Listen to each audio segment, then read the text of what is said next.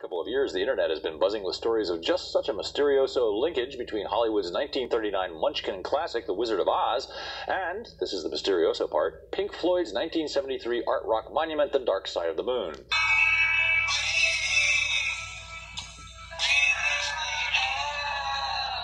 So far, the only comment from the Floyd camp on all of this has come from drummer Nick Mason, who says, quote, It's absolute nonsense. It has nothing to do with The Wizard of Oz. It was all based on the sound of music.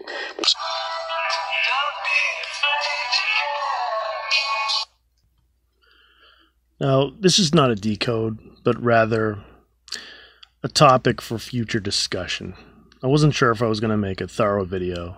I'll decide later, but uh, most of you probably know about this already. This is old news. But folks discovered that there are some remarkable synchronicities that occur if you cue up the beginning of the Pink Floyd album, The Dark Side of the Moon, to a precise moment near the beginning of the movie The Wizard of Oz.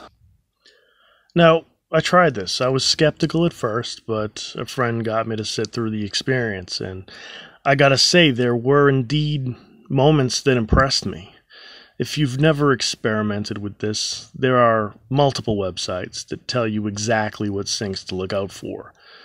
Admittedly, a couple of websites seem a bit sketchy, and I uh, had to roll my eyes a few times while reading through the websites, but like I said, I was impressed.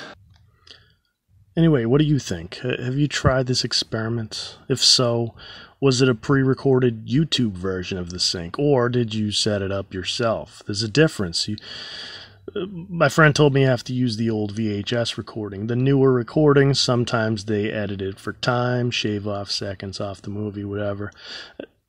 What were the most remarkable parts of the sync? Or was it all BS?